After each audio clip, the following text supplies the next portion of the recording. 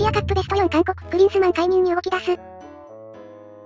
韓国サッカー代表チームのユルゲン・クリンスマン監督に対する非難世論が湧き上がっている中、大韓サッカー協会は15日、アジアカップを評価する戦力協会委員会会議を開く、米国に滞在中のクリンスマン監督もオンラインで会議に出席する、クリンスマンコリアは64年ぶりのアジアカップ優勝に挑戦したが、接戦を繰り返した末、準決勝で敗北した。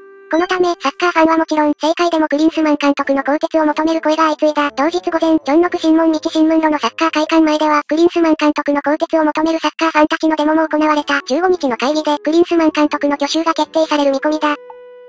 端から見ても正直クリンスマンに熱意を感じない。変えた方がいいだろうな。任命者も責任取るべき。プロなんだから結果で判断されるのは当たり前。世論を反映しているとすればすごいですね。まあそうじゃないんでしょうが、日本もファンの声は無視しないでほしいものです。カエルも地獄、カエヌも地獄。なお日本の超名将森保はじめ監督は今回のアジア杯で2敗してベスト8、5年間で2回アジアカップに挑むも双方とも目標は未達成。しかし協会の会長から絶対的な信頼があるため解任されない模様。こういう事情作用があるだけ日本サッカーより韓国サッカーの方がマシに思えてきた。